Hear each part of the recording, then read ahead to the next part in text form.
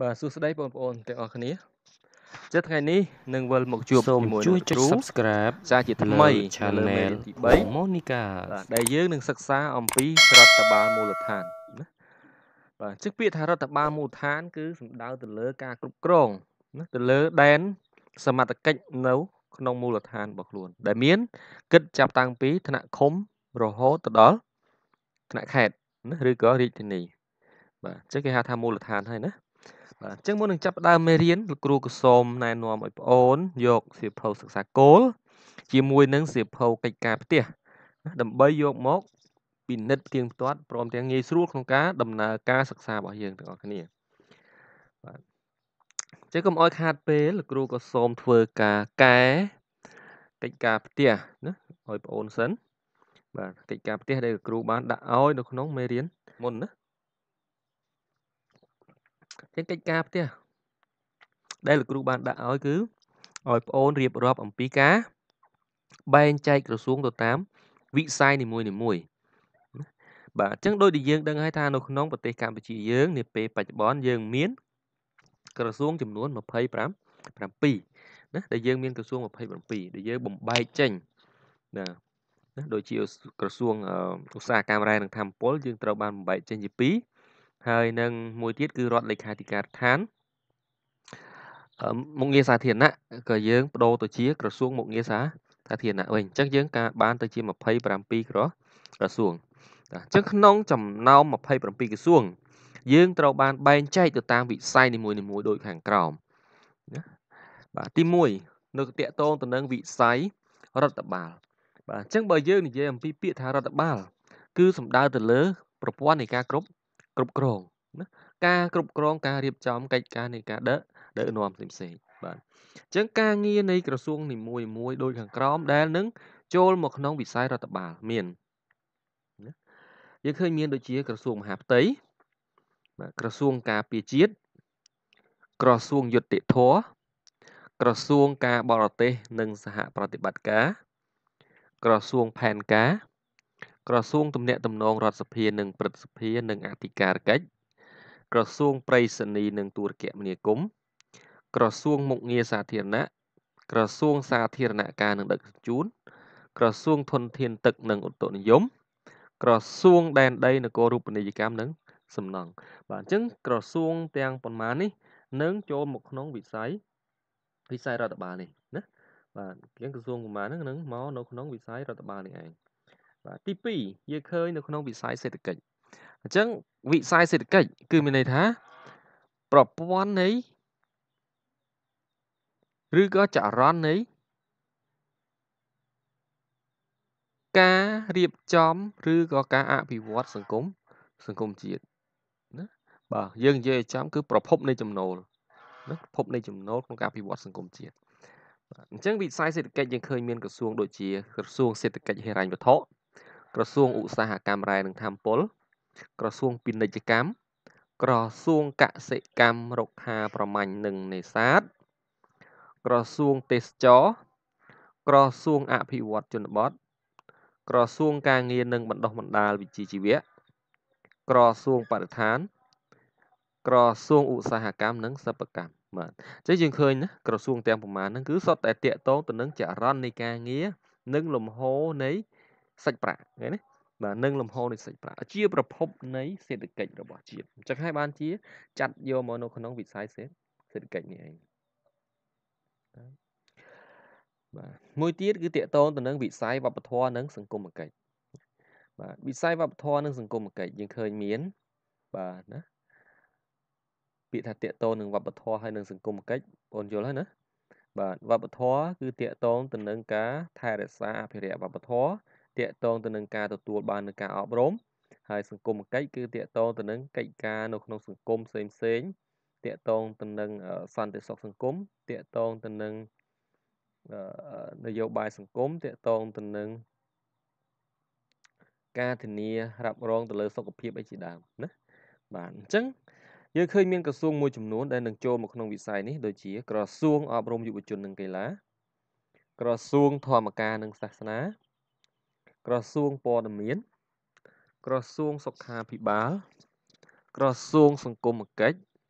អអតីតយុទ្ធជន និងយុវនីតិសម្បទា ក្រសួងវប្បធម៌វិចិត្រសិល្បៈនិងក្រសួងកិច្ចការកិច្ចការនារីណាបាទអញ្ចឹងក្រសួងទាំងប្រមាណហ្នឹងនឹងចូលមកនៅក្នុងវិស័យសង្គមសង្គមកិច្ចវិស័យវប្បធម៌បាទអញ្ចឹងយើងចែកជា3វិស័យហ្នឹងណាបាទយើងចែកចេញជា3វិស័យហ្នឹងដែលតាកតងទៅនឹង ក្រសួងទាំង27របស់យើងបាទអញ្ចឹងកិច្ចការដែលលោកគ្រូបានផ្ដល់កាលពីមេរៀនមុនណាលោកគ្រូបានផ្ដល់នៅចម្លើយឲ្យបងប្អូនហើយយើងនឹងបន្តទៅមេរៀនថ្មីរបស់យើងណាបាទយើងបន្តទៅមេរៀនថ្មីមេរៀនទី3គឺយើងនិយាយអំពីរដ្ឋបាលមូលដ្ឋានណាដែលវត្ថុបំណងនៃមេរៀនរបស់យើងគឺទី1វិជាសម្បទា គឺឲ្យប្អូនចេះបង្ហាញអំពីគុណសម្បត្តិនិងគុណវិបត្តិនៃការប្រមូលផ្ដុំនៅរដ្ឋបាលកណ្ដាលណាបាទតើការគ្រប់គ្រងការដឹកនាំតាមបែបរដ្ឋបាលកណ្ដាលវាផ្ដល់នូវគុណសម្បត្តិនិងគុណវិបត្តិបែបបែបណាខ្លះទី2បំណិនសម្បទាណាចំណេះដឹងហើយគឺចំណេះធ្វើមែនណាជាងឲ្យបងអូនចេះពណ៌នាអំពីភារកិច្ចរបស់រដ្ឋាភិបាលតើរដ្ឋាភិបាល មានទួនាទីនិងភារកិច្ចធ្វើធ្វើអ្វីខ្លះ បាទទី3គឺឲ្យបងអូនមានអេរិយាបថណាគេថាចរិយាសម្បទាគឺ ផ្ដល់ការគ្រប់គ្រងទៅដល់រដ្ឋារដ្ឋាភិបាលបាទអញ្ចឹងពាក្យកលឹះនៅក្នុងមេរៀនរបស់យើង ទី1យើងឃើញពាក្យថារដ្ឋបាលកណ្ដាលអញ្ចឹងរដ្ឋបាលកណ្ដាលគឺសំដៅទៅលើទម្រង់នៃការគ្រប់គ្រងរដ្ឋបាលតាំងពីថ្នាក់លើណាថ្នាក់កម្ពូលរហូតមកដល់ថ្នាក់មូលដ្ឋានណានៅក្នុងថ្នាក់ក្រោមជាតិ បាទទី2យើងឃើញមានពាក្យថាអភិបាលកិច្ចអភិបាលកិច្ចមានន័យថាជាកិច្ចការក្នុងការគ្រប់គ្រងទឹកដី ដែលមានអំណាចនយោបាយមួយជាជាក់លាក់ណាបាទវិភាគទានវិភាគទានគឺមានន័យថា ជាចំណែកដែលបុគ្គលណាម្នាក់បានចូលរួមក្នុងការធ្វើកិច្ចការងារអ្វីអ្វីមួយណា បាទជាចំណែកដែលបុគ្គលណាម្នាក់បានចូលរួមនៅក្នុងការធ្វើកិច្ចការងារអ្វីមួយចឹងយើងមើលចំណុចទី1គឺយើងនិយាយអំពីរចនាសម្ព័ន្ធរដ្ឋបាលមូលដ្ឋានណាបាទរចនាសម្ព័ន្ធរដ្ឋបាលមូលដ្ឋាន បាទដោយរូបដែលលោកគ្រូបានដាក់ឲ្យប្អូននៅក្នុងទំព័រមួយនេះ បាទយើងឃើញរចនាសម្ព័ន្ធរដ្ឋបាលឃុំឃុំសង្កាត់ណារចនាសម្ព័ន្ធរដ្ឋបាលឃុំសង្កាត់ យើងឃើញមានក្រុមប្រឹក្សាឃុំសង្កាត់អញ្ចឹងនៅថ្នាក់ឃុំសង្កាត់គឺយើង មានក្រុមប្រឹក្សាណាបាទបានបន្ទាប់ពីក្រុមប្រឹក្សាឃុំសង្កាត់មកបានមកដល់មេឃុំឬក៏ចៅសង្កាត់ បានចេញពីមេឃុំឬចៅសង្កាត់មកយើងឃើញមានចៅសង្កាត់រងទី1ដែលគេឲ្យងារថាជំទប់ទី1បាទចៅសង្កាត់រងទី2គឺជំទប់ទី2បាទបានចេញមកពីចៅសង្កាត់រងទី1និងទី2គឺមានគណៈកម្មាធិការ ជាគណៈកម្មាធិការនេះមានច្រើនណាបាទយើងឃើញមានគណៈកម្មាធិការដោះស្រាយវិវាទដីធ្លីគណៈកម្មាធិការលទ្ធកម្មគណៈកម្មាធិការអីផ្សេងផ្សេងទៀតបាទបន្ទាប់ពីគណៈកម្មាធិការហ្នឹងគឺយើងឃើញមានស្មានឃុំណាស្មានឃុំឬក៏ស្មានសង្កាត់អញ្ចឹងនៅក្នុងអឺរចនាសម្ព័ន្ធចុងក្រោយគឺធ្លាក់មកដល់ភូមិហើយណាបាទចេញមកគឺភូមិបាទអញ្ចឹងកន្លែងនេះលោកគ្រូចង់បង្ហាញប្រាប់បងអូនបន្តិចថា ការងារនៅក្នុងឃុំសង្កាត់មេឃុំឬក៏ចៅសង្កាត់នេះគឺគាត់មានតួនាទីក្នុងការរៀបចំចាត់ចែងដឹកនាំកិច្ចការងារផ្សេងផ្សេងនៅក្នុងឃុំសង្កាត់ទៅតាមគោលនយោបាយឬក៏តាមផែនការដែលក្រមប្រឹក្សាឃុំសង្កាត់បានរៀបចំដាក់ដាក់ឲ្យអនុវត្តហើយក្រមប្រឹក្សាឃុំសង្កាត់នេះមានតួនាទីនិងភារកិច្ចក្នុងការតាមដានពិនិត្យទៅលើការអនុវត្ត ការងាររបស់មេឃុំឬក៏ចៅចៅសង្កាត់បាទហើយកិច្ចការងារមួយទៀតដែលលោកគ្រូចង់បង្ហាញប្រាប់គឺស្មានឃុំណាស្មានឃុំឬក៏ស្មានសង្កាត់នេះអញ្ចឹងស្មានឃុំឬក៏ស្មានសង្កាត់នេះការងាររបស់គាត់ទួនាទីរបស់គាត់គឺត្រូវបានជ្រើសរើសដោយក្រសួងមហាផ្ទៃមានន័យថាស្មានឃុំនេះគាត់ចូលនិវត្តន៍ណាគាត់ចូលនិវត្តន៍គាត់ធ្វើការងារគាត់ប្រឡងចូលដែលក្រសួងមហាផ្ទៃជាអ្នករើសគាត់យកទៅដាក់នៅនឹង ណាបាទ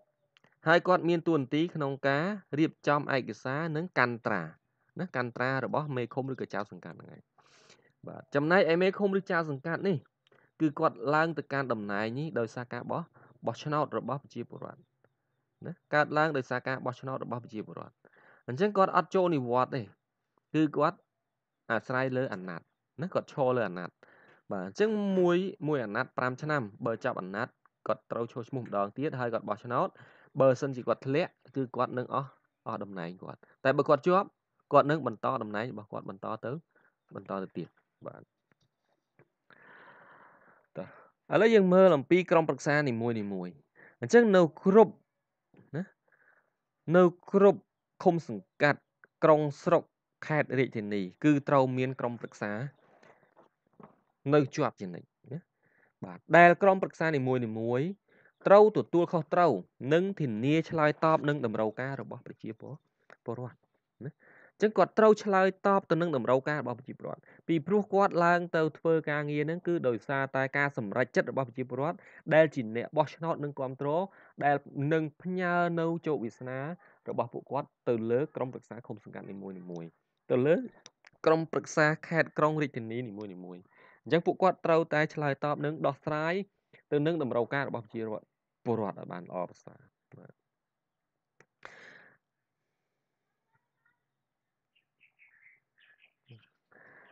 បាទបន្ទាប់មកទៀតយើងមើលអំពីទួនាទីនិងភារកិច្ចរបស់រដ្ឋបាលឃុំសង្កាត់តើរដ្ឋបាលឃុំសង្កាត់គាត់មានទួនាទីនិងភារកិច្ចយ៉ាងដូចម្តេចខ្លះនៅក្នុងមូលដ្ឋានរបស់ពួកគាត់បាទអញ្ចឹងទួនាទីរបស់ឃុំសង្កាត់ទី1គឺ ធ្វើយ៉ាងណាធានារក្សានូវសន្តិសុខសណ្ដាប់ធ្នាប់ជូនដល់ប្រជាពលរដ្ឋនៅក្នុងដែនដីឬក៏ដែនសមត្ថកិច្ចរបស់ខ្លួនឲ្យរស់នៅប្រកបដោយសេចក្តីសុខនិងសុវត្ថិសុវត្ថិភាពណាលុបបំបាត់នៅចោរកម្មឃាតកម្មនៅអំពើហិង្សានៅបញ្ហាជួញដូរគ្រឿងញៀនអីផ្សេងផ្សេងទាំងអស់ណាធ្វើយ៉ាងណាឲ្យមានរបៀបរៀបរយមានសណ្ដាប់ធ្នាប់សាធារណៈទី2ឃុំសង្កាត់ត្រូវរៀបចំតាក់តែងសេវាសាធារណៈចាំបាច់និងមើលការខុសត្រូវ ឲ្យកិច្ចការទាំងនោះដំណើរការបានល្អណាបាទអញ្ចឹងធ្វើយ៉ាងណាត្រូវរៀបចំនៅការផ្ដល់សេវាសាធារណៈដល់ប្រជាពលរដ្ឋហើយធ្វើការបំរើនិងផ្ដល់សេវាសាធារណៈទាំងអស់នោះទៅដល់ប្រជាពលរដ្ឋឲ្យបានល្អប្រសើរឲ្យសមនឹងពាក្យគេថាមន្ត្រីជាអ្នកបំរើ និងជាអ្នកផ្ដល់សេវាដល់ប្រជាពលរដ្ឋណាមន្ត្រីនៅក្នុង សម័យកាលនៃរាជរដ្ឋាភិបាលនាពេលបច្ចុប្បន្នមិនមែនជាអ្នកគ្រប់គ្រងរាជទេ គឺជាអ្នកបម្រើរាជណាអញ្ចឹងយើងត្រូវផ្ដល់សេវាឲ្យបានល្អប្រសើរទៅដល់ប្រជាពលរដ្ឋទី3ឃុំសង្កាត់មានតួនាទីក្នុងការលើកទឹកចិត្តនិងបង្កើនផាសុកភាពនិងសុខុមាលភាពរបស់ប្រជាពលរដ្ឋអញ្ចឹងធ្វើយ៉ាងណាឲ្យនៅក្នុងមូលដ្ឋានរបស់ខ្លួនហ្នឹងគួរជាទីរស់នៅ មានភាពស្រស់បំព្រងបៃតងខៀវខ្ចី បាទមិនមែនចូលមកដល់ហើយធំស្អុយសម្រាមស្អេកស្កះណាបាទប្រព័ន្ធទឹកប្រព័ន្ធលូអីគ្មានផ្លូវថ្នល់ជិះមិនកើតដាក់រដប់រអិលដួលអត់ទេធ្វើយ៉ាងណាឲ្យមានផាសុកភាពនិងគិតទៅលើសុខុមាលភាពរបស់ប្រជាពលរដ្ឋបាទទី4ជំរុញឲ្យមានការអភិវឌ្ឍសេដ្ឋកិច្ចសង្គមគិច្ចនិងលើកកម្ពស់ជីវភាពរស់នៅរបស់ប្រជាពលរដ្ឋបាទ ជំរុញឲ្យមានការអភិវឌ្ឍសេដ្ឋកិច្ចបាទសង្គមគិច្ចនិងការលើកកម្ពស់ជីវភាពរបស់រស់នៅរបស់ប្រជាពលរដ្ឋចឹងធ្វើយ៉ាងណាឆ្លើយតបឲ្យប្រជាពលរដ្ឋនៅក្នុងដែនដីរបស់ខ្លួនដែលកាន់កាប់ដែលគ្រប់គ្រងអាចមានលទ្ធភាពក្នុងការរស់នៅបានណាបាទអញ្ចឹងអ្នកដែលដឹកនាំដែលល្អនៅក្នុងរដ្ឋបាលមូលដ្ឋានមិនមិនឲ្យប្រជាពលរដ្ឋរបស់ខ្លួនស្លាប់អីណាទី1គាត់ត្រូវគិតគូរទៅលើ ការងាររបស់ប្រជាពលរដ្ឋ បាទតើត្រូវឲ្យប្រជាពលរដ្ឋនឹងមានការងារអីមិនមែនគ្រប់ក្រុមគ្រួសារសុទ្ធតែគ្មានការងារអញ្ចឹងត្រូវរកការងារឲ្យប្រជាពលរដ្ឋធ្វើមិនថាជាការងារកសិកម្មស្រែចម្ការយ៉ាងណាឲ្យគាត់មានការងារធ្វើស្រែបើធ្វើស្រែយើងត្រូវធ្វើម៉េចដើម្បីលើកកម្ពស់ឲ្យផលិតផលរបស់គាត់ឲ្យការងាររបស់គាត់បានល្អប្រសើរមានប្រព័ន្ធធារាសាស្ត្រជួយអន្តរាគមន៍នៅពេលដែលជួបគ្រោះរាំងស្ងួតអីផ្សេងៗណាទី2 ត្រូវរកទីផ្សារដើម្បីនាំចេញនៅផលិតផលរបស់ពួកគាត់ណាបាទរកទីផ្សារដើម្បីនាំចេញនៅផលិតផល បន្ទាប់ពីគាត់ធ្វើបានត្រូវគិតគូរទៅលើ ទីផ្សារសម្រាប់ពួកគាត់ផងដែរកាលណាគាត់ធ្វើបានចំណុចទាំងអស់ហ្នឹងធ្វើឲ្យជីវភាពរបស់ប្រជាពលរដ្ឋនៅក្នុងដែនដីដែលគាត់គ្រប់គ្រងនឹងល្អប្រសើរឡើងណាបាទនឹងល្អប្រសើរឡើងបាទទី5រដ្ឋបាលឃុំសង្កាត់ត្រូវការពារ ថែរក្សាបរិស្ថាន ធនធានធម្មជាតិវប្បធម៌និងបេតិកភណ្ឌជាតិណាបាទអញ្ចឹងគាត់ត្រូវលើយ៉ាងណា ការពារបរិស្ថាននៅក្នុងដែនដីការពារជំរកសត្វព្រៃការពារតំបន់ត្រីពងណាធនធានធម្មជាតិដែលមាននៅក្នុងសហគមន៍បាទមិនឲ្យមានការកាប់បំផ្លាញមិនឲ្យមានការនេសាទខុសច្បាប់បាទមិនឲ្យធ្វើសកម្មភាពខុសច្បាប់ទាំងអស់តែម្ដង បាទពិសេសគឺសម្បត្តិបេតិកភណ្ឌជាតិណាអត់ឲ្យមានការបាត់បង់ខូចខាតណាត្រូវអភិរក្សនិងថែរក្សាការពារឲ្យបានគង់គង់វង្សទី6ត្រូវសម្របសម្រួលទស្សនៈរបស់ប្រជាពលរដ្ឋដើម្បីឲ្យមានការយោគយល់អធិស្ឋានគ្នាទៅវិញទៅមកបាទអញ្ចឹងកន្លែងនេះរដ្ឋបាលឃុំសង្កាត់គឺមានទួនាទីក្នុងការសម្របសម្រួលណាអត់ទៅបញ្ញុះឲ្យប្រជាពលរដ្ឋឆ្លុះគ្នាខឹងគ្នាស្អប់គ្នា គឺគាត់ដើរតួនាទីជាអាជ្ញាកណ្ដាលក្នុងការផ្ដល់នូវភាពយុត្តិធម៌ក្នុងការរក្សានៅចំណងសម្ព័ន្ធភាពរវាងប្រជាពលរដ្ឋនិងប្រជាពលរដ្ឋរវាងប្រជាពលរដ្ឋនិងអាជ្ញាធរដែនដីនិងសមត្ថកិច្ចនៅក្នុងដែនដីរបស់របស់ខ្លួនបាទនឹងចំណុចចុងក្រោយអញ្ញាធមមូលដ្ឋានឬក៏រដ្ឋបាលឃុំសង្កាត់ មានទួនាទីក្នុងការឆ្លើយតបនឹងតម្រូវការរបស់ប្រជាពល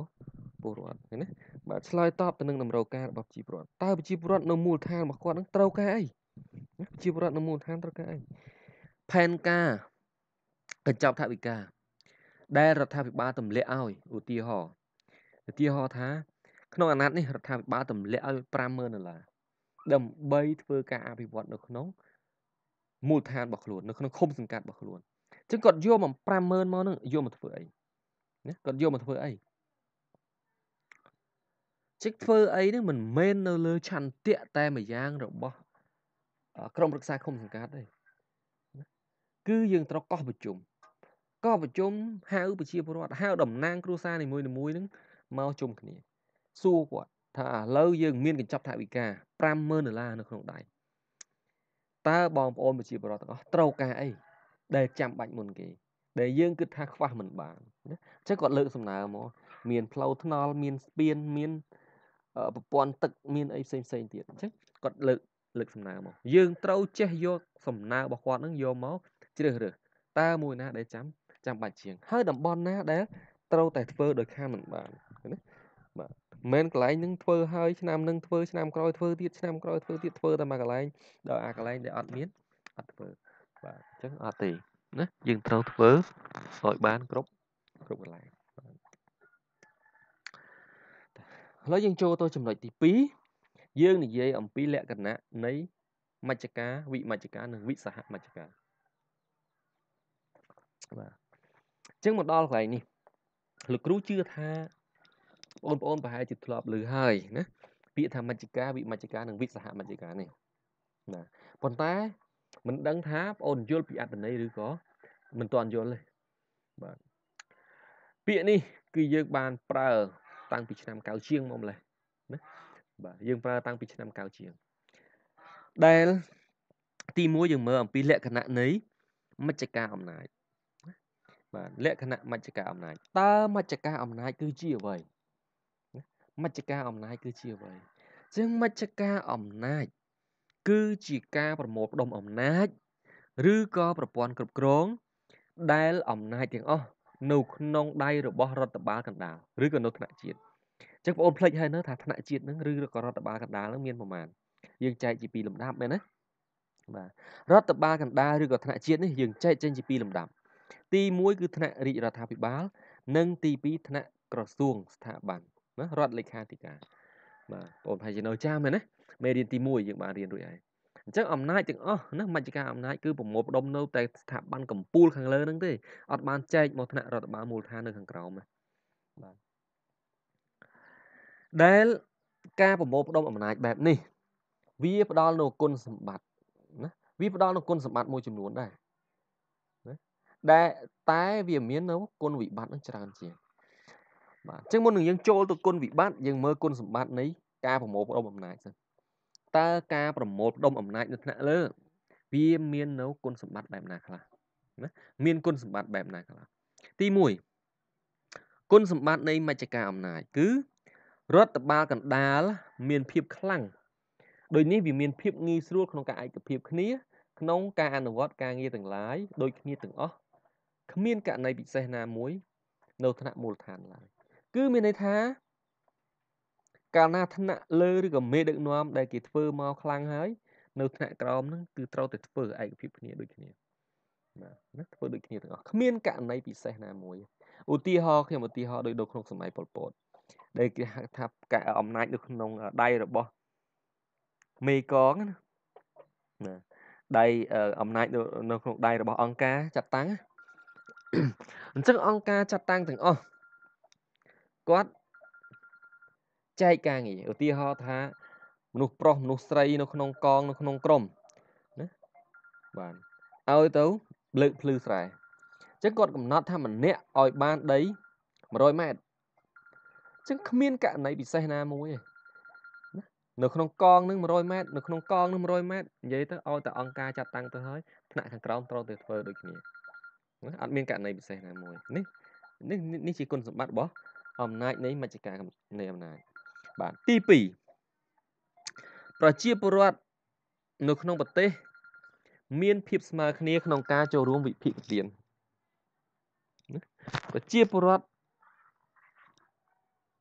នៅក្នុងប្រទេសទាំងមូល មានភាពស្មើគ្នា ក្នុងការចូលរួមវិភាគទានចំពោះការងារទាំងឡាយដែលរដ្ឋតម្រូវឲ្យធ្វើបាទ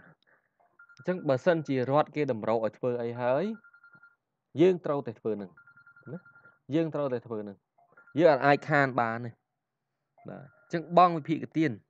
ណាបងពុនជូនរដ្ឋយើងមើលដូចនៅក្នុងសមាណានិគមនិយមបារាំងអត់មានគិតណាតែរដ្ឋថាតម្រូវថាត្រូវបងពុនប្រមូលពុនត្រូវការកែនតបប្រមូលតបកម្លាំងតបបាទអត់មានករណីខុសគ្នាណាមួយទេ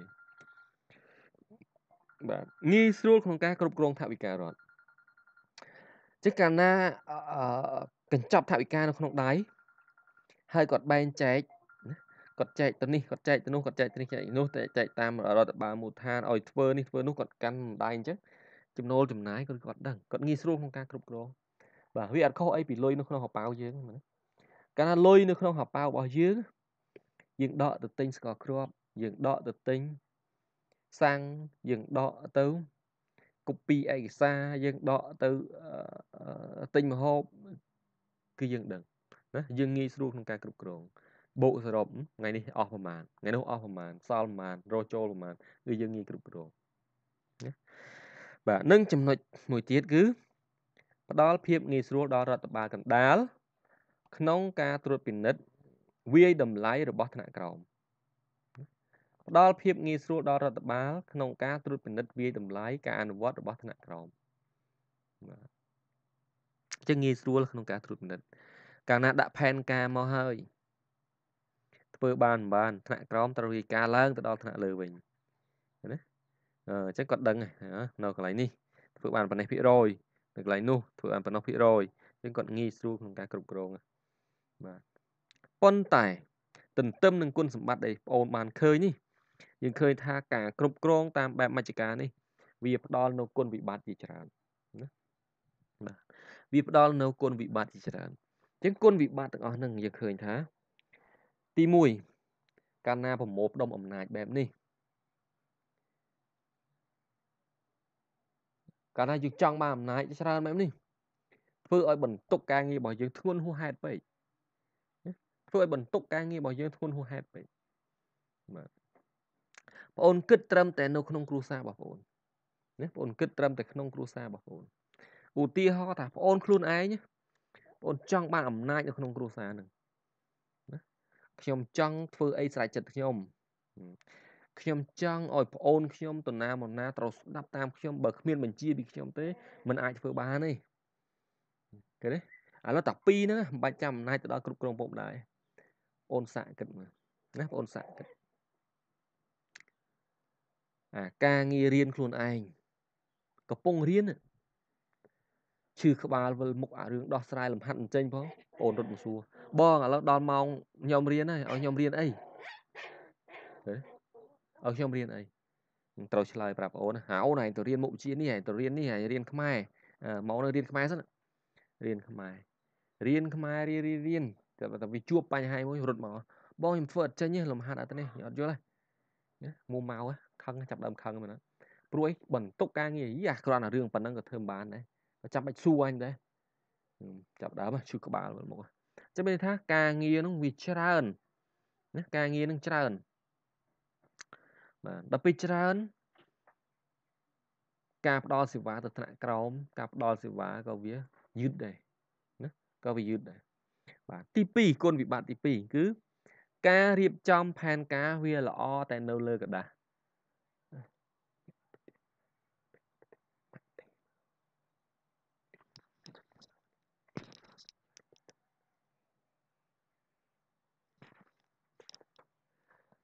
ការរៀបចំផែនការល្អតែនៅលើក្រដាសបានន័យថាថ្នាក់លើរៀបចំផែនការមកគឺបានល្អប៉ុន្តែថ្នាក់ក្រោមដែលជាអ្នកអនុវត្តវិញ គឺមិនយល់ពីអ្វីដែលថ្នាក់លើចង់បានបាទអត់យល់ពីអ្វីដែលថ្នាក់លើចង់បានមិនដឹងថាថ្នាក់លើនឹងចង់ឲ្យធ្វើអីយ៉ាងពិតប្រាកដ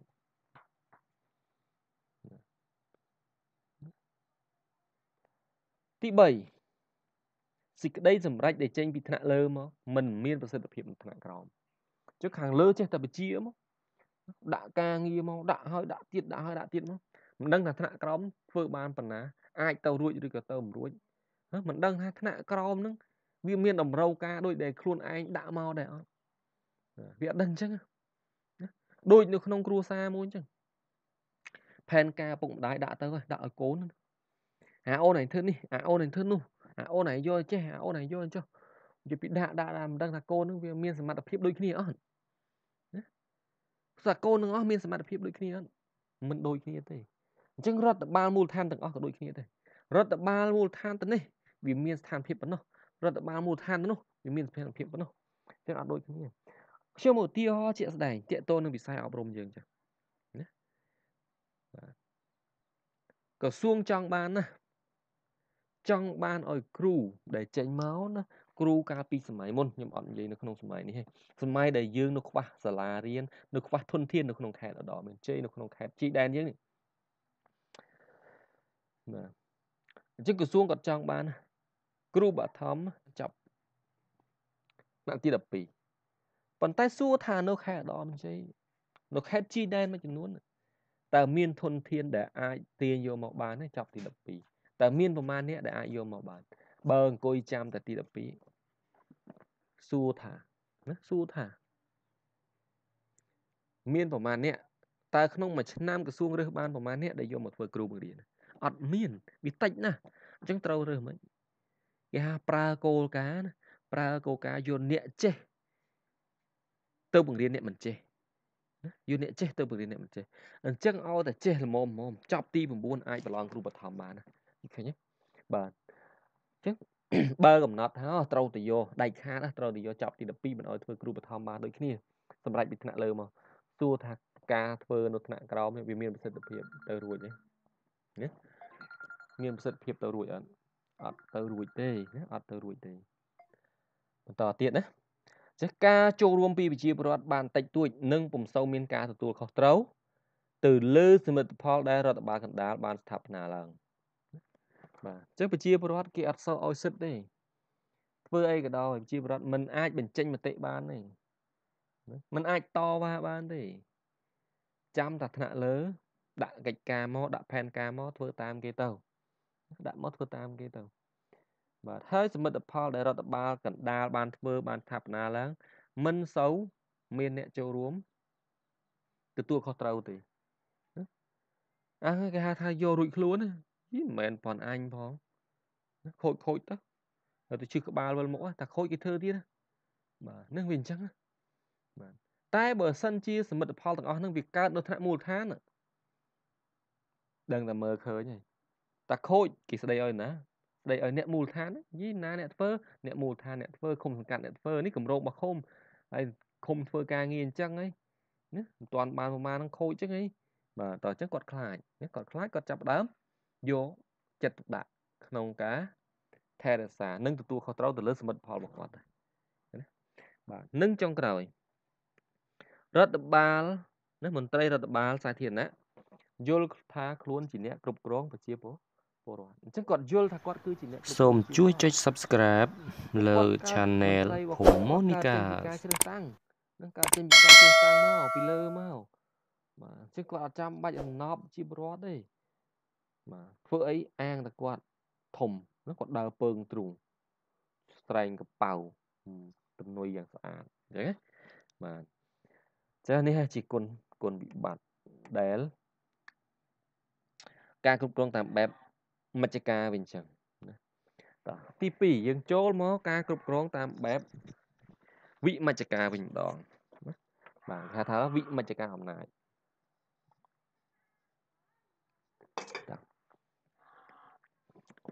តើវិមជ្ឈការនៃអំណាចមានន័យដូចម្ដេចតើវិមជ្ឈការនៃអំណាចមានន័យដូចម្ដេចវិមជ្ឈការនៃអំណាចមានន័យថា ជាការប្រគល់ភាពជាម្ចាស់លើមុខងារឬជាការចែករំលែកអំណាច ក្នុងប្រព័ន្ធអភិបាលកិច្ចតាមរយៈការផ្ទេរអំណាចនៃរដ្ឋបាលកណ្ដាល រួមទាំងការទទួលខុសត្រូវនិងធនធានហិរញ្ញវត្ថុទ្រព្យសម្បត្តិនិងបុគ្គលិកឲ្យទៅរដ្ឋបាលមូលដ្ឋានឬរដ្ឋបាលថ្នាក់ក្រោមជាតិដើម្បីឆ្លើយតបនឹងតម្រូវការនៅក្នុងមូលមូលដ្ឋានបាទដូចនេះវិមជ្ឈការគឺមានន័យថានៅមូលដ្ឋាន គឺគាត់មានសិទ្ធខ្លួនឯង ណាគឺគាត់មានសិទ្ធខ្លួនឯងគាត់មានអំណាចនៅក្នុងដៃណាគាត់មានអំណាចនៅក្នុងដៃក្នុងការធ្វើកិច្ចការងារផ្សេងផ្សេងក្នុងការអភិវឌ្ឍនៅក្នុងមូលដ្ឋានរបស់គាត់បាទដើម្បីឆ្លើយតបទៅនឹងតម្រូវការចាំបាច់នៅក្នុងសហគមន៍របស់គាត់បាទគាត់លែងរងចាំថ្នាក់លើទៀតហើយព្រោះថ្នាក់លើបានបកគលទួនាទីភារកិច្ចអីសិទ្ធអំណាចអីឲ្យមកគាត់អស់ហើយឃើញទេចឹងថាវិមជ្ឈការនេះ គឺថ្នាក់រដ្ឋបាលកណ្ដាលគាត់ទម្លាក់អំណាចទួនាទីនិងភារកិច្ចឲ្យមកថ្នាក់ក្រោមជាតិឲ្យមកថ្នាក់មូលដ្ឋានហើយបាទណាវាអត់ខុសពីគ្រួសារមួយ ដែលរៀបការហើយចេញពីឪពុកម្ដាយឯងចឹងកាលពីយើងនៅជាកូនដែលរស់នៅជាមួយនឹងឪពុកម្ដាយអំណាចទាំងអស់យើងអត់សូវមានទេណាយើងធ្វើតាមឪពុកម្ដាយយើងធ្វើអីមួយយើងខ្លាចក្រែងចិត្តគាត់ឃើញទេបាទយើងសួរនាំគាត់ តែផ្ទុយទៅវិញនៅពេលដែលយើង នៅពេលដែលយើងរៀបការហើយយើងបែកចេញគ្រួសារទៅខាងក្រៅគឺចាប់ផ្ដើមមានសិទ្ធណាយើងចាប់ដើមមានសិទ្ធគេហៅថាឯករាជ្យដោយខ្លួនឯងបាទយើងធ្វើអីលែងចាំបាច់សួរគាត់ទៀតហើយណាយើងម្ចាស់ការខ្លួនឯងយើងធំហើយយើងមានប្តីប្រពន្ធហើយណាអញ្ចឹងយើងអាចរៀបចំគ្រួសារថ្មីនោះដោយខ្លួនឯង អញ្ចឹងវិមជ្ឈការអំណាចនៅកន្លែងនេះដូចគ្នារដ្ឋបាលមូលដ្ឋានគឺឯករាជ្យដោយខ្លួនឯង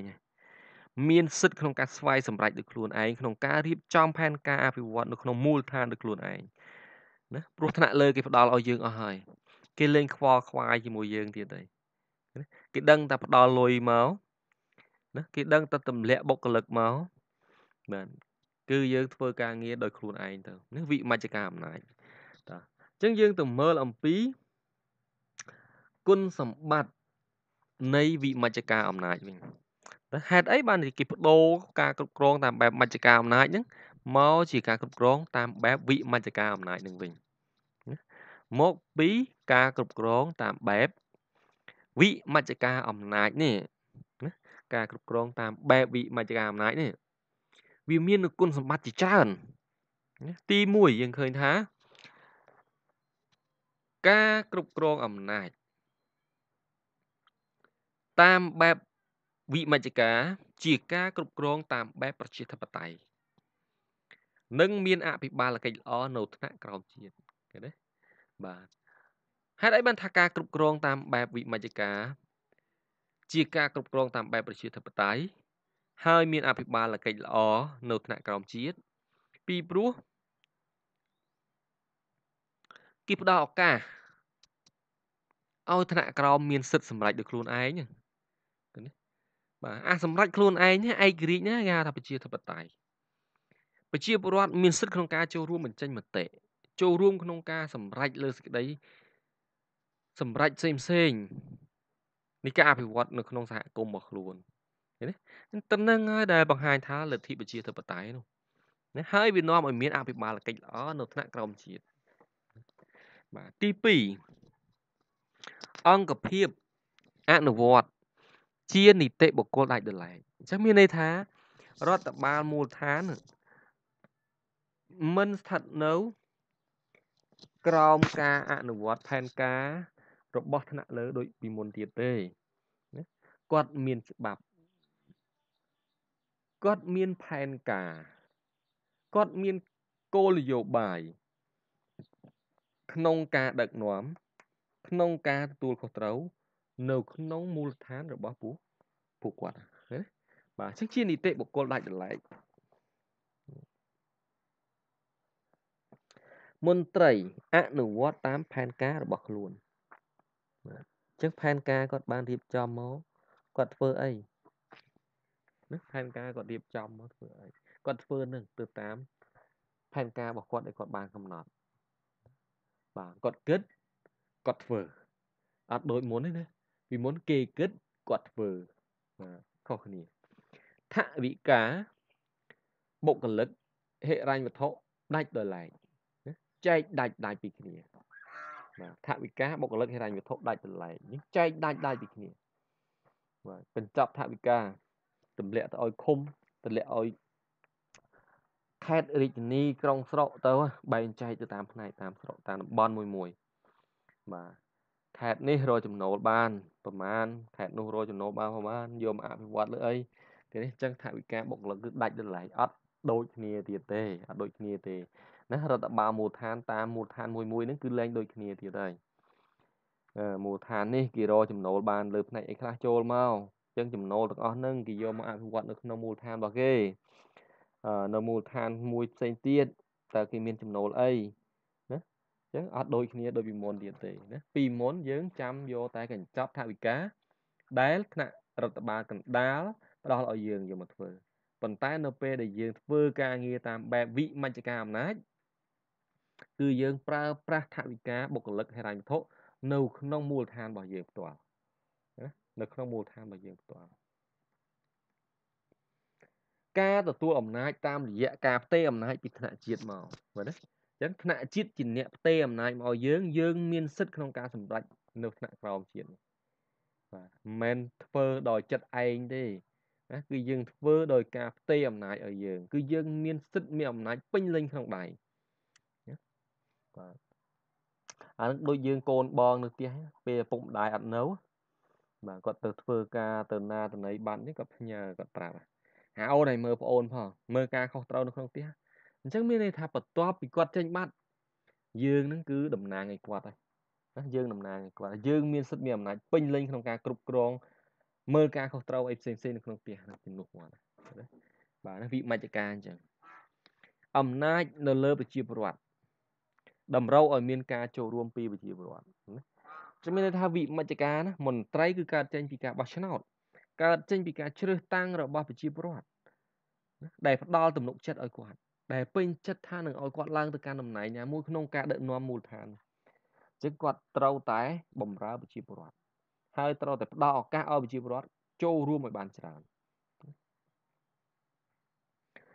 មន្ត្រីត្រូវទទួលខុសត្រូវផ្ទាល់ចំពោះប្រជាពលរដ្ឋនិងដោយប្រយោលចំពោះរដ្ឋាភិបាលណាបាទចឹងមានថាបញ្ហានៅមូលដ្ឋានជួបយ៉ាងម៉េចត្រូវដោះស្រាយត្រូវឆ្លើយតបឲ្យទាន់ពេលវេលា ណានៅក្នុងមូលដ្ឋានរបស់ខ្លួនអត់ចាំបញ្ជាមកពីថ្នាក់លើទេបាទណាអត់ចាំបញ្ជាមកពីថ្នាក់លើទេទី3យើងមើលទៅលើលក្ខណៈវិសហមជ្ឈការនៃអំណាចវិញម្ដងណាវិសហមជ្ឈការនៃអំណាចតើវិសហមជ្ឈការនៃអំណាច មានន័យដូចម្ដេច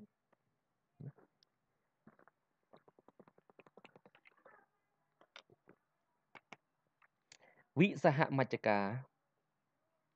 មានន័យថារាជរដ្ឋាភិបាលឬក្រសួងស្ថាប័នធ្វើប្រតិភូកម្មលើមុខងារសិទ្ធិអំណាច និងធនធានហិរញ្ញវត្ថុទ្រព្យសម្បត្តិនិងបុគ្គលិក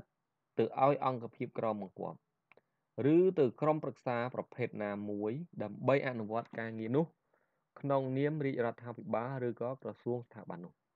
បាទប្រហែលបាក់យល់ណានៃវាវែងណាឥ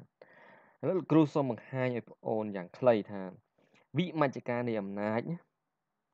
គឺថ្នាក់ក្រសួងឬក៏រដ្ឋាភិបាលនៅខាងលើថ្នាក់ជាតិនោះ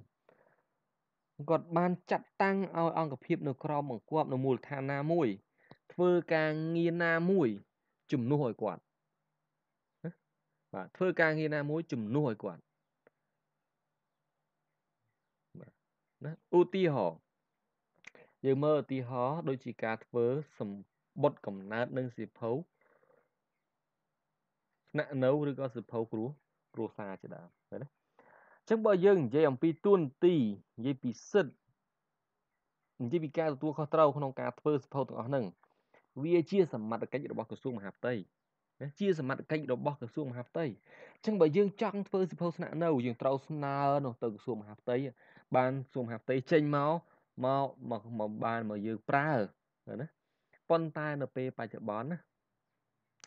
ក្រសួងមហាផ្ទៃបានធ្វើវិសហមជ្ឈការដោយផ្ទេរសិទ្ធិនិងអំណាចក្នុងការធ្វើសម្បត្តិកំណើតសិភៅគ្រួសារសិភៅស្នាក់នៅទាំងអស់ហ្នឹងឲ្យមកថ្នាក់មូលដ្ឋានពិសេសគាត់ចង្អុលមកតែម្ដងណាមក ប៉ុស្តិ៍រដ្ឋបាលមកអធិការដ្ឋានណាបាទអញ្ចឹងមានន័យថាទម្លាក់មកនៅខាងក្រោមនេះហើយបាទអត់ចាំបាច់ទៅលើទៀតទេសបុតកំណើតទៅឃុំសង្កាត់ណាបាទអញ្ចឹងសបុតកំណើតយើងទៅឃុំសង្កាត់ទៅដល់ស្មានធ្វើឲ្យណាយើងអត់ចាំបាច់ហត់ទៅណាឆ្ងាយទេ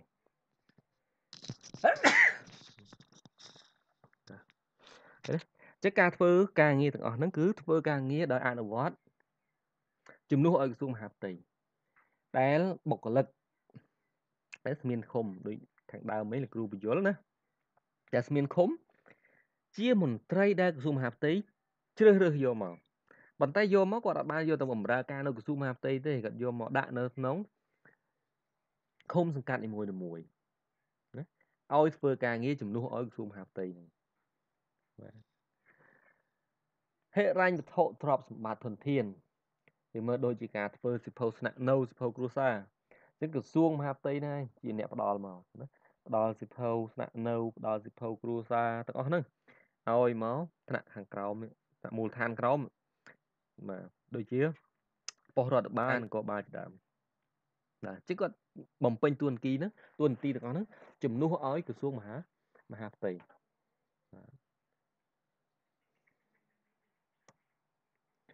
គុណសម្បត្តិនៃវិសហមជ្ឈការអំណាចបាទជាងវិសហមជ្ឈការអំណាច មានគុណសម្បត្តិដូចជា ទី1នេះគឺថាការទទួលអំណាចតាមរយៈការធ្វើប្រតិភូកម្មពីរដ្ឋាភិបាលឬក៏ក្រសួងស្ថាស្ថាប័នមានន័យថា មន្ត្រីនៅថ្នាក់មូលដ្ឋាន មានសិទ្ធិនិងមានអំណាច តាមរយៈការផ្ទេរអំណាចរបស់រដ្ឋាភិបាលឬក្រសួងស្ថាប័នណាមួយឲ្យមកគាត់បាទជាការផ្ទេរអំណាចរបស់ក្រសួងស្ថាប័នណាមួយឲ្យមកគាត់ឲ្យមកគាត់ផ្ទាល់ចំតែម្ដងបាទ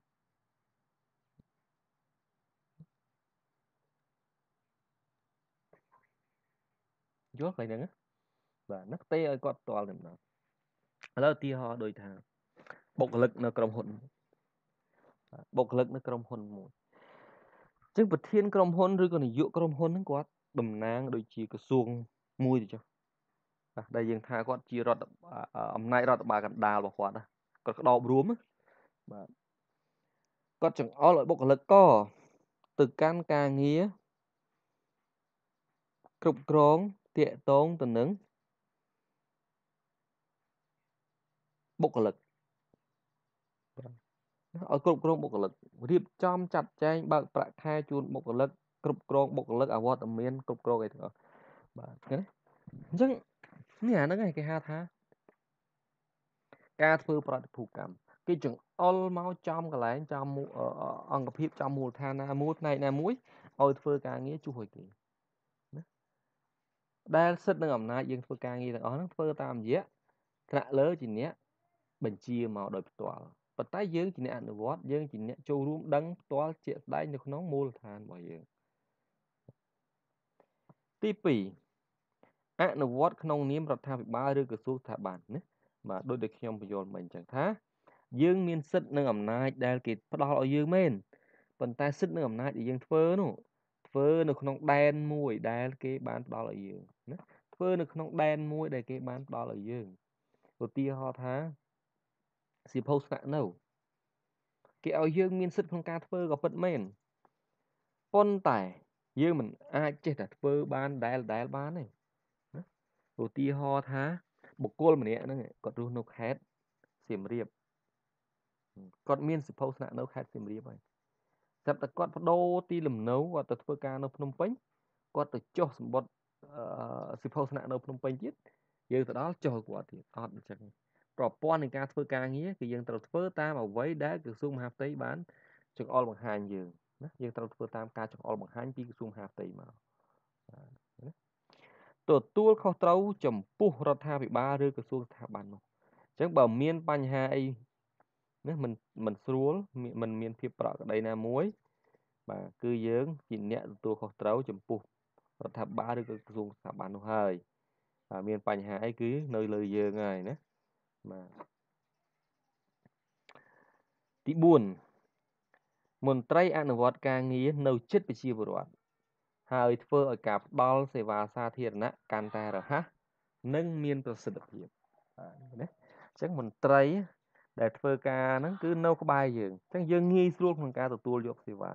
ហើយការផ្ដល់សេវាត្រឡប់មកវិញហ្នឹងវារហ័សហើយមានប្រសិទ្ធភាពទៅទៀត អត់ពិបាកឲ្យយើងចំណាយពេលក្នុងការរងចាំទៅមួយជើងពីរជើងអីទៀតទេពួកនោះចិត្តយើងងាយស្រួលយើងឆ្លើយតបបានហើយនិយាយទៅនិយាយថានៅក្នុងមូលដ្ឋានបាទសេវាវាផ្ដល់កាន់តែទូលាយកាន់តែទូលាយតែបើយើងនៅរដ្ឋបាលកណ្ដាលថ្នាក់លើខេត្តក្រុងគ្រប់ទាំងអស់យើងឡើងទៅទទួលនៅអំណាចរដ្ឋបាលកណ្ដាលទាំងអស់បណ្ដុំការងារហ្នឹងគឺធំតែដល់ពេលទម្លាក់មកតាមមូលដ្ឋាន ធ្វើឲ្យអំណាចឬក៏ការទទួលខុសត្រូវនឹងកាន់តែកាន់តែតិចកាន់តែតិចហើយកាន់តែរហ័សទៀតអង្គភាពអនុវត្តមិនមែនជានីតិបុគ្គលដាច់ឡែកអញ្ចឹងមានន័យថាគ្រប់ខេត្តក្រុងគ្រប់រដ្ឋបាលមូលដ្ឋានទាំងអស់ធ្វើការងារទៅតាមអ្វីដែលថ្នាក់លើណាដែលរដ្ឋាភិបាលឬក្រសួងស្ថាប័នដែលធ្វើប្រតិភូកម្មអំណាចឲ្យមកហ្នឹងគឺអត់មានលក្ខខណ្ឌពិសេសឬដាច់ដោយឡែកណាទេ តែប្រាប់មកមិនថាមិនគ្រប់ខេត្តគ្រប់ក្រុងទាំងអស់ត្រូវតែធ្វើអញ្ចឹងបើយើងមើលទៅយើងថាអានេះដូចស្តៀងគ្នាជាមួយនឹងមជ្ឈការអំណាចដែរណាណាដូចគ្នានឹងមជ្ឈការអំណាចដែរបាទដូចយើងមើលទៅដូចមែនទែនប៉ុន្តែខុសគ្នាត្រង់ថាវិសហមជ្ឈការអំណាចថ្នាក់លើអត់ក្តោបអំណាចទេណាផ្ទេអំណាចមកដែរប៉ុន្តែផ្ទេឲ្យធ្វើការជំនួសឲ្យគាត់មិនបានផ្ទេទាំងស្រុងទេអញ្ចឹងវាខុសគ្នា អាមជ្ឈការអំណាចគឺក្តោបអត់ផ្ទេទេក្តោបបាទអញ្ចឹងខុសគ្នាណាមិនតម្រូវឲ្យមានការចូលរួមពីប្រជាពលរដ្ឋទាំងស្រុងទេណាប្រជាពលរដ្ឋអត់បាច់ចូលរួមអីច្រើនញញ៉ាយទេវិសហមជ្ឈការនោះ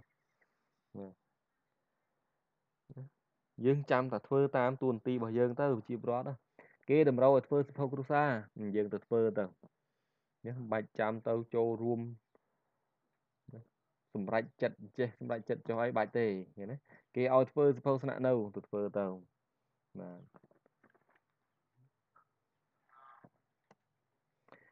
ថវិកាបុគ្គលិកហិរញ្ញវត្ថុជារបស់ជាតិសូមជួយចុច Subscribe លើ Channel ភូមិ Monica ផ្ដល់ឲ្យមកធ្វើការងារនឹងតែម្ដងបាទតែគុណសម្បត្តិរបស់វាច្រើនអញ្ចឹង តោះអញ្ចឹងមេរៀនទី3របស់យើងនៅពេលនេះគឺចប់ត្រឹមតែប៉ុណ្្នឹងហើយយើងនឹងមានកិច្ចការសម្រាប់ធ្វើណានៅក្នុងបញ្ចប់មេរៀនរបស់យើង ដែលសំណួរឲ្យបងអូនរៀបរាប់ពីគោលការណ៍ភូមិឃុំមានសុវត្ថិភាពបាទចឹងបងប្អូនប្រហែលជាធ្លាប់ឮហើយមែនណាបាទយុទ្ធសាស្ត្ររបស់រដ្ឋាភិបាល ក្នុងការរក្សាសន្តិភាពសុវត្ថិភាពជូនប្រជាពលរដ្ឋគឺបានបង្កើតនូវគោលនយោបាយភូមិឃុំមានសុវត្ថិ សុវត្ថិភាពអញ្ចឹងតើភូមិឃុំមានសុវត្ថិភាពនឹងវាមានលក្ខណៈបែបណាតាសូមបងប្អូនធ្វើការស្រាវជ្រាវទាំងអស់គ្នាបាទអញ្ចឹងលោកគ្រូសូមអរគុណហើយក៏សូមជូនពរបងប្អូន